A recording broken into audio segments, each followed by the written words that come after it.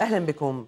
الاثنين يكتب أوراق الاثنين وعلى مرمى أسبوع فاصل عن انتخاب الرئيس تستعد البلاد لمرحلة تعبئة الرأس وسد فراغه في جلسة انتخابية ثابتة هذه المرة.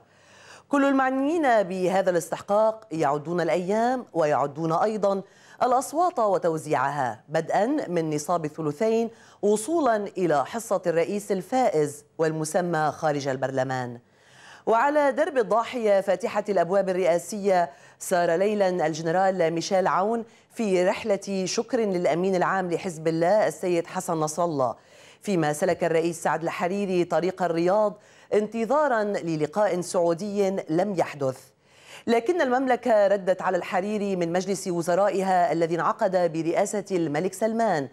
وكان لافتا بيان الحكومة السعودية في هذا التوقيت بالذات المتعلق بعزم المملكة على مكافحة نشاطات حزب الله الإرهابية والاستمرار في العمل مع الشركاء في أنحاء العالم لكشف نشاطاته الإجرامية.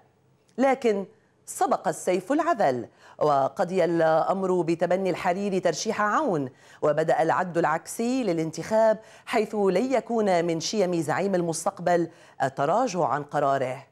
وعلى ضفة الاشتراكي فإن انتظار وليد جنبلاط اللحظات الأخيرة مسألة تحمل بعد نظر.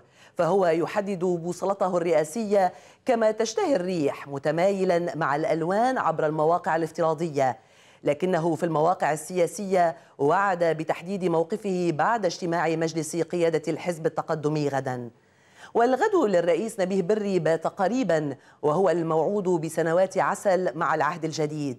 فإما يعود من جنيف ليدخل التسوية وإما يتحول إلى معارضة في وجه العهد ليشكل مع اللواء أشرف ريفي جبهة الضد وإن من غير تحالف.